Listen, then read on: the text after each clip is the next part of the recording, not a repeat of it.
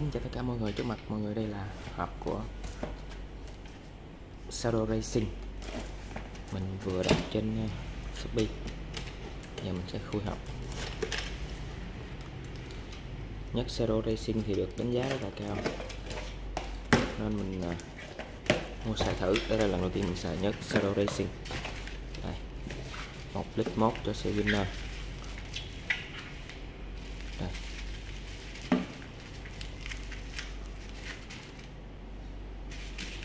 Sẽ luôn. Cái lon hình như nó có bị mớp rồi. Lon bị mớp một tí rồi. Nó quá trình vận chuyển, bị va đập rồi. Bị mớp một tí.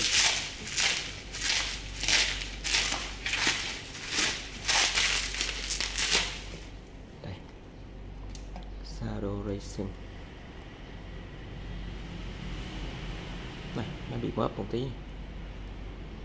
Đây, mua mớp một cái nữa mà không sao. Đây. Phía sau có số tên? Tên phân phối mà, nhà phân phối thì vậy. Ở đây còn có thêm ờ, 100 trăm ml nữa. Tại vì ờ, xài cho winner. Rồi, chỉ có vậy thôi. Để có hạn sử dụng trên đây nữa hay gì? Có cái ngày trên đây nữa nè đó, thì nhất này được đánh giá là vừa chạy à, vừa chạy bóc mà vừa êm máy nữa. Nên mình mua sẽ thử. Shadow Racing. Shadow Racing. Rồi, cảm ơn mọi người đã xem.